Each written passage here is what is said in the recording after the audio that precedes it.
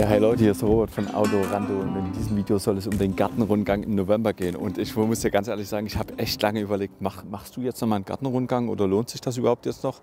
Und dann hab, hast du ja gesehen, habe ich hier mal die Plane von meinen Kartoffeln weggenommen oder den, besser gesagt, den Folientunnel. Und da muss ich ja ganz ehrlich sagen, das ist wie jedes Mal, jeden Tag wieder eine neue Freude für mich äh, die Kartoffeln hier zu sehen, wie schön die wirklich gewachsen sind. Die hatte ich ja Anfang September gesteckt. Jetzt haben wir Mitte, Mitte November bald und ja, also wirklich eine wahre Freude. Die sehen richtig gesund aus. Und was hier am Ende, des, am Ende November äh, dran hängt, darauf bin ich wirklich mal richtig gespannt. Ja, du siehst, das ist hier die meine Abdeckplane. Das ist wirklich ein stabiles Material. Die decke ich hier jeden Abend äh, damit ab, meine Kartoffeln.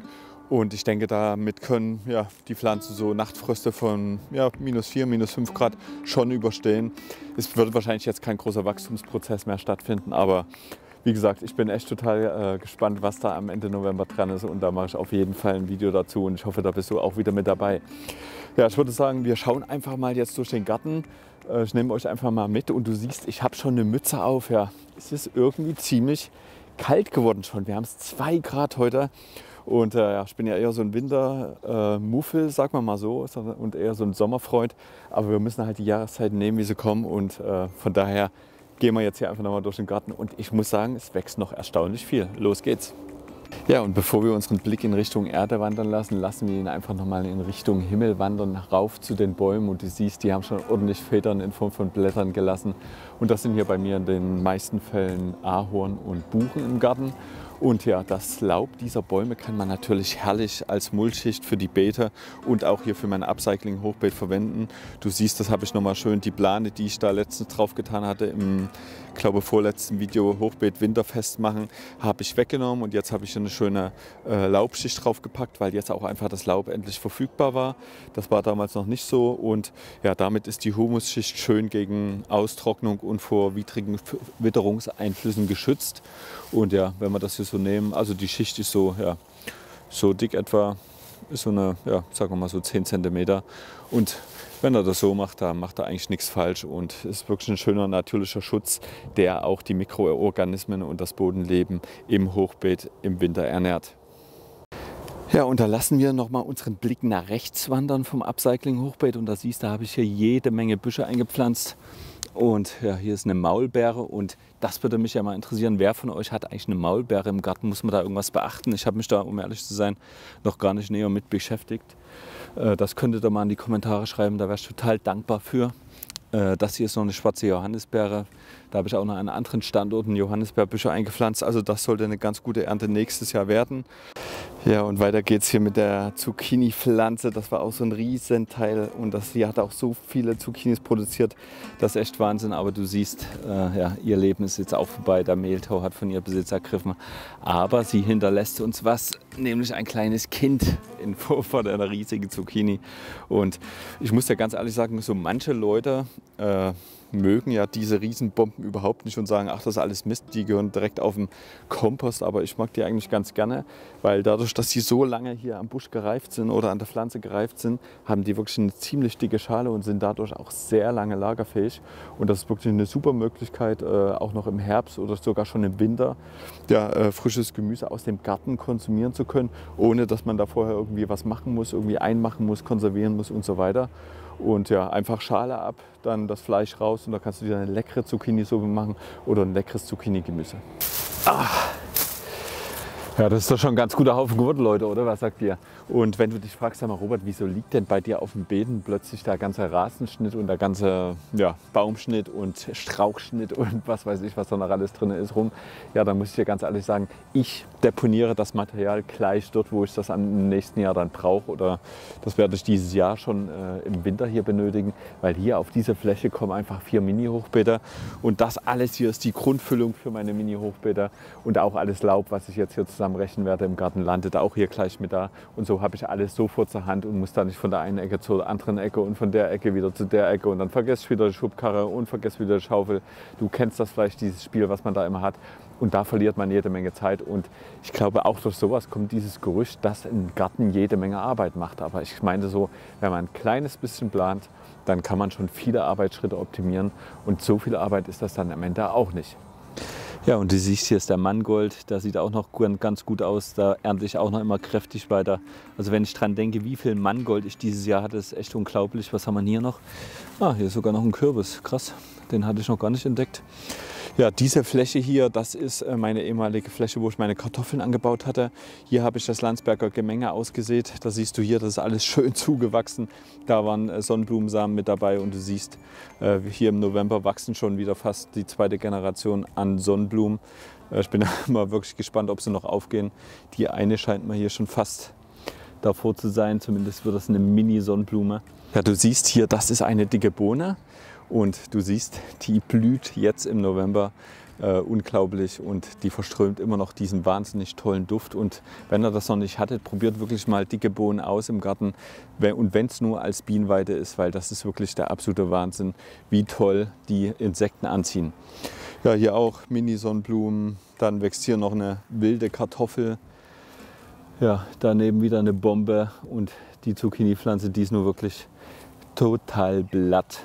Das ist mein Schmetterlingsbusch, den ich jetzt vor vier Monaten ausgepflanzt hatte. Ja, das sieht auch schon ganz gut aus. Ist schön, schön angewachsen auf jeden Fall. Und ich denke, nächstes Jahr geht es da richtig voran. Ja, du siehst, auch ich habe hier im Garten mit dem Laub zu kämpfen und äh, da, ich sehe es ja immer, wenn ich ab und zu mal in der Stadt bin, wie die Leute da verzweifelt versuchen, das Laub wegzumachen von den Gehwegen. Das ist halt auch gefährlich, wenn jetzt, äh, ja, wenn das feuchte und nasse Wetter ist, dass die Leute da ausrutschen. Ich hier im Garten, ich sammle das Laub auf großen Haufen und fülle, befülle damit meine Hochbeete und meine Mini-Hochbeete. Außerdem kannst du das auch verwenden, um deine Beete schön abzumulchen, die du vorher natürlich nicht umgegraben hast. Aber dazu werde ich dann später auch noch kommen. Und äh, ja, wenn du vielleicht irgendwie zu Hause doch irgendwie noch eine kleine Ecke hast, dann leg dir doch einen Kompost an. Als Grundlage eignet sich natürlich das Herbstlaub hervorragend. Also alles außer Walnussbäume und Eichen kann damit rein. Äh, natürlich Nadelgehölze sollten da auch nicht mit verkompostiert werden. Aber alles andere äh, bildet einen super Humus. Und äh, ja, den reifen Kompost kannst du dann quasi nächstes Jahr auf deine Beete ausbringen. Und ja, du wirst mit Sicherheit durch eine reiche Ernte belohnt. Und ich würde sagen, ja, der Feldsalat sieht auch schon ganz gut aus. Das ist amerikanischer Pflücksalat und den äh, pflanze ich nach und nach in mein Spätbeet ein. Und da können wir jetzt mal zusammen hingehen. Da machen wir noch mal einen kleinen Spaziergang hier. Hier ist wie gesagt die Gründüngungsfläche. Da war die Zucchini-Pflanze, die abgestorben ist mit der Riesenbombe dran. Ja, hier ist mein Upcycling-Hochbeet. Da hinten waren die Büsche. Hier ist noch der schwarze Rettich und ich muss euch ehrlich sagen, das ist wieder eine wahre Freude und der schmeckt auch richtig schön scharf und das ist genau das Richtige für die Erkältungssaison jetzt diese ätherischen Öle des schwarzen Rettichs und ich kann es immer wieder, nur wieder euch empfehlen. Ende August äh, seht den schwarzen Rettich aus und der ist auch relativ frostresistent. Also da, da kann schon mal so einen kleinen äh, Frostschlag wegstecken und du siehst, so langsam wachsen hier auch äh, Rettiche heran. Hier sehen wir es besser, hier ist auch schon einer. Das sind meine Bohnen, die, die es nicht mehr geschafft haben. Da auch wieder ein Pilz. Die Bohnen, die blühen zwar, aber die werden es nicht mehr schaffen. Genau wie meine rote Beete, die hier, die du da siehst. Die hat es nicht mehr geschafft, weil ich hatte es ja schon im Gartenrundgang gesehen. Ich hatte nicht beachtet, dass die Hecke ziemlich hoch ist und natürlich die Sonne jetzt immer weiter absinkt. Und dadurch haben die einfach nicht genügend Sonnenlicht gekriegt. Ja, manche Fehler macht man halt jedes Jahr immer wieder ich glaube, ich muss es mir bald mal irgendwie auf der Hand tätowieren oder so, dass ich das mal äh, im nächsten Jahr dran denke. Hier sind wir schließlich an meinem Spätbeet und du siehst, das ist schon gut abgedeckt mit einer Folie und ich würde sagen, die machen wir jetzt einfach mal gemeinsam nach oben und schauen mal, was da drunter so passiert ist in der letzten Woche. Ja, weg ist die Plane und jetzt schauen wir gleich gemeinsam rein. Doch bevor es soweit ist, würde ich dich gerne noch bitten, könntest du jetzt den Kanal abonnieren. Unten rechts da so ein kleiner Button, äh, das siehst du hier Abo und damit kannst du kostenlos den Kanal abonnieren. Da kriegst du hier jede Woche von mir ein tolles Video aus dem Selbstversorgergarten und da kannst du jede Menge lernen und auch sehen. Und äh, es wäre total toll, wenn du dabei wärst und ich freue mich, dich auf jeden Fall wieder auf dem Kanal begrüßen zu können. Jetzt schauen wir mal hier rein, was hier so gewachsen ist und du siehst, das sieht schon ganz gut aus. Äh, da haben wir ja auf jeden Fall Asia-Salate. Das ist das hier. Das sind die Asia-Salate. Die lieben ja auch die Kälte. Also die kommen locker mal mit einem guten Frost aus. Die haben da überhaupt kein Problem damit. Dann habe ich noch ein paar Winterzwiebeln gesteckt hier. Die kommen hier auch so langsam. Siehst du ja hier. Kommen auch schon so langsam vor. Dann dahinter haben wir eine Reihe Radieschen. Ja, die werden, hier haben wir auch schon so ein kleines Mini-Radieschen, die brauchen noch so ein, zwei Wochen. Und hier hinten haben wir dann den amerikanischen Pflücksalat. Du siehst hier hinten, da sind schon einige Lücken. Da habe ich schon äh, amerikanischen Pflücksalat geerntet. Und ich würde mal sagen, wir gehen jetzt gleich mal gemeinsam vor, holen nochmal die kleinen Salatpflanzen, die wir da in der Anzuchtschale gesehen haben und pflanzen den dort jetzt ein. Und ja, um das dir nochmal zu zeigen, so sieht das aus. Ich habe hier einfach nur äh, ja, so ein Steckregal genommen. Das habe ich äh, von einem Freund bekommen. Äh, ich habe mal eins in der Beschreibung verlinkt. Das kann man auch kaufen. Kostet, glaube ich, 15 Euro. Ist eine Anschaffung für viele, viele Jahre. Dann dazu noch eine wertige Plane dazu. Die kostet so ungefähr 20 Euro. Und da hat man viele Jahre Freude und äh, kann auch noch im Herbst und im Winter tolle Sachen im, im, Garten ernten. Und wir gehen jetzt mal gemeinsam vor und holen noch mal ein paar Pflücksalate. So, hier haben wir sie. Die mache ich natürlich immer schön mit einem großen Bein raus, dass das Wurzelwerk nicht verletzt wird. Und du siehst, so sieht das dann aus. Und den kann man dann schön bequem einpflanzen. Und da wird auch der Wachstumsprozess der Pflanze nicht unterbrochen. Wir machen uns einfach mal vier Stück raus. Ich würde mal sagen, Pflücksalat für alle und los geht's nach hinten zum Einpflanzen. Einfach ein kleines Loch machen, einpflanzen, andrücken, fertig. Die Erde ist feucht genug, da muss man nicht mal angießen.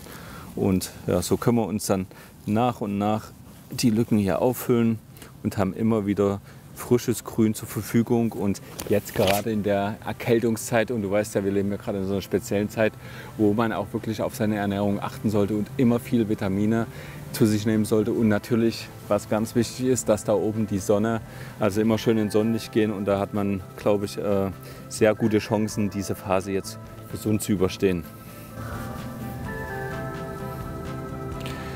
Ja, so sieht das dann aus, wenn es eingepflanzt ist. Herrlicher Anblick, frisches Grün im November im eigenen Garten. Also ich meine, was gibt es Schöneres? Und ja, so lecker wie das ausschaut, so lecker schmeckt das auch. Ja, Leute, und bevor wir äh, zum Schluss kommen, habe ich doch noch was ganz Wichtiges für euch. Und äh, du siehst, ich habe hier schon mal was für euch angebaut. Das sind nämlich, wie du unschwer erkennen kannst, ach, Brennnesseln. Und die habe nicht ich angebaut, sondern die Natur für mich hier angebaut. Und du weißt ja, ich habe es ja schon gerade gesagt, in den Zeiten, wo wir unser Immunsystem unterstützen sollten und jetzt ganz besonders, dann äh, sollten wir natürlich auch auf eine vitaminreiche Ernährung achten. Und nichts hat mehr Vitamine und Schutzstoffe als die Wildkräuter. Äh, die bei uns im Garten wachsen oder im Wald wachsen. Und von daher nehme ich jeden Tag einfach mal so drei, vier von diesen äh, Brennnesselspitzen, mache die ab. Das sieht dann so aus. Ich zeige euch das mal. Und dann rolle ich die einfach so zusammen und mache daraus wie so eine kleine Brennnesselkugel. Die äh, rolle ich dann einfach zwischen meinen Fingern und dann werden die meisten der Spitzen einfach gebrochen und äh, ihr könnt die einfach in den Mund stecken und essen. Und ich sage euch eins, euer Körper wird sich definitiv dafür bedanken. Ihr sollt natürlich darauf achten, äh, dass ihr die Brennnesseln jetzt nicht irgendwo in der Nähe von der Straße pflückt oder vielleicht irgendwo, wo eine Hundewiese ist, wäre dann vielleicht nicht ganz so angenehm. Aber ansonsten Wildkräuter ist wirklich immer wieder eine super Alternative, auch zu anderen äh, ja, Immununterstützungsarzneien, äh, die man so im Handel kriegt. Ich sage euch hier, die gibt es umsonst und ich glaube, die Wirkung von diesen Pflanzen hier äh, ist tausendmal besser als alles andere, was ihr so finden könnt. Ja, Leute, und das wollte ich euch noch zeigen. Das habe ich doch gerade noch entdeckt. Da unter den Brennnesseln war es hier sogar noch ein kleiner Hokkaido versteckt. Und ja, das ist immer das Schönste, wenn man äh, denkt, man hat schon alles abgeerntet und dann doch noch irgendwo versteckt unter dem Laub oder unter den äh, Brennnesseln was findet. Und da würde ich sagen, verabschiede ich mich auch gleich von euch. Ich, mich würde es total interessieren, wer von euch äh, versucht das mit den Brennnesselspitzen. Äh, schreibt mir gerne mal eure Erfahrungen da rein, äh, ob, ihr, ob das euch gestachelt hat im Mund oder ob ihr da vielleicht irgendwie so gesagt habt, Mann, das war lecker, das hätte ich jetzt gar nicht von den Brennnesseln so erwartet. Und äh, das würde mich echt mal total interessieren. Ansonsten abonniere gerne den Kanal, kommentiere kommentiere kräftig, like kräftig, äh, teile kräftig. Naja, du kennst das ganze Spiel. Vielen Dank auf jeden Fall fürs Zuschauen. Äh, bis zum nächsten Mal und bis dahin, euer Robert von Autorando. Ciao.